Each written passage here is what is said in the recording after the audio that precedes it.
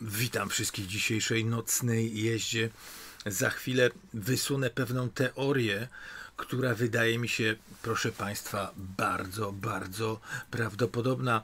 Otóż e, przypomniała mi się mgła smoleńska. Mgła smoleńska, w której zanurzone były wszystkie dowody, dowody, m, które m, chcieli ukryć prawdziwi sprawcy, a więc e, jakieś szczątki samolotu pewnie tam już podłożonego.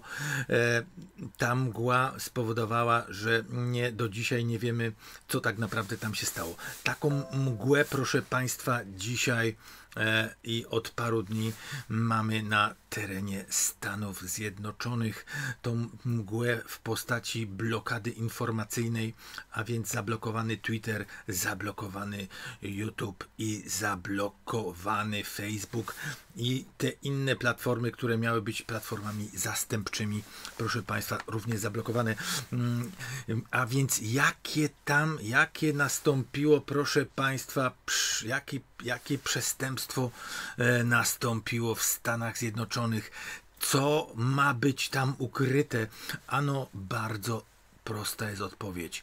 Odpowiedź jest prosta bardziej niż nam się wydaje. Otóż w Stanach Zjednoczonych, moim zdaniem, nastąpił zamach stanu, nielegalne przejęcie władzy przez Joe Bidena i jego grupę nielegalne i teraz wszystkie te dowody, wszystko chce, chcą ukryć. Te dowody miały się pokazać już, proszę Państwa, e, parę dni temu w Senacie. Zostało to wszystko przerwane, wpuszczeni zostali ludzie, nie zdołano przesłuchać wszystkich świadków, to miało trwać 10 dni, już zrobiono rozróbę i zaczęła się tam mgła, to oszukaństwo, te wszystkie dowody, które miały pokazać, z kim mamy do czynienia, zostały zatajone. W tej chwili, proszę Państwa, trwa akcja zastraszania senatorów, zastraszania całej, mm, całej ekipy Trumpa, ale te dowody są tych dowodów nie da się, proszę Państwa, spalić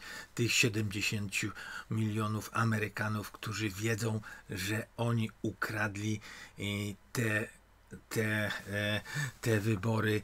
Też, też nie da się okłamać. Także, także ten zamach stanu, moim zdaniem, nie będzie, nie będzie miał szans e, e, udać się. Wydaje mi się, że do końca e, do 20 tutaj jeszcze ta mgła się rozpłynie i zobaczymy prawdziwe fakty i zobaczymy naprawdę kto tu jest tym bandytą, który próbuje ukryć swoje przestępstwo. Na razie.